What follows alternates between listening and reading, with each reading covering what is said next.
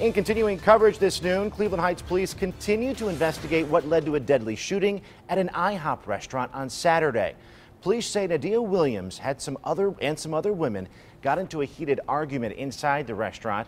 A security guard hired by IHOP escorted the women out and some type of altercation occurred. Now, police say the security guard was knocked down and his gun discharged, killing Williams. That guard is also a deputy security bailiff at Cleveland Municipal Court.